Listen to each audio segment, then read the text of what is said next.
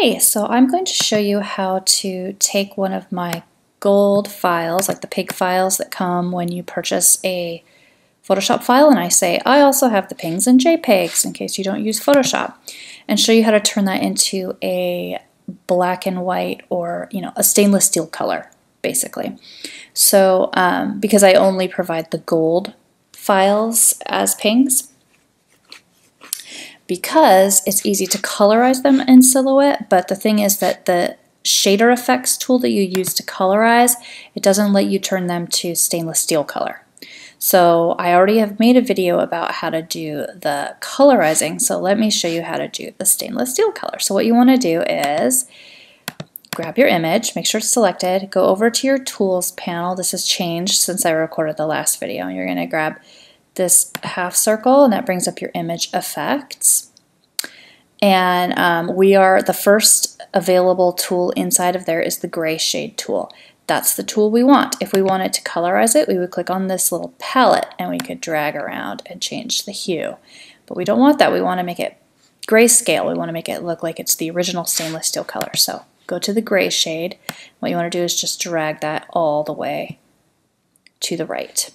Um, since this is one of the files that has a little bit of a rim on it, that looks shinier than the rest when you do this. So um, don't grab that one if you want it to be um, all one silvery shade. You're going to want to grab the one that doesn't have the little trim piece on there, and that is available in the file.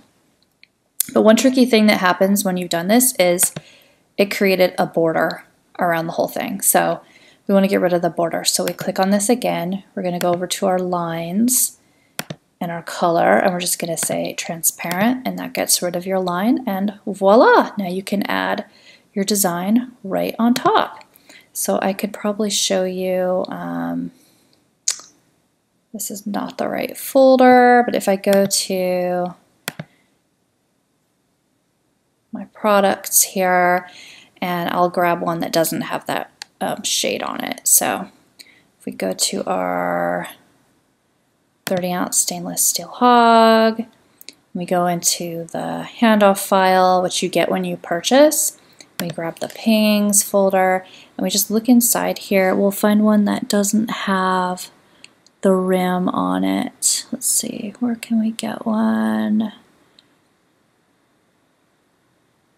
I think this one? Nope, that has it on the bottom.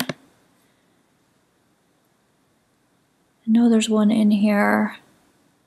Okay, there's this first one. That might be it. It might just be the first one that's in there. Yeah, so that's the one we wanted. 30 ounce Hogg tumbler one show that in my Finder. Let's get that up. Okay, so if we were to grab that one, we'll drag this one away, pull this one in, go over to our image effects, grayscale, drag it all the way over, hit apply, and then select it again and turn off the line color, and you will be good to go to lay your cut file design on top.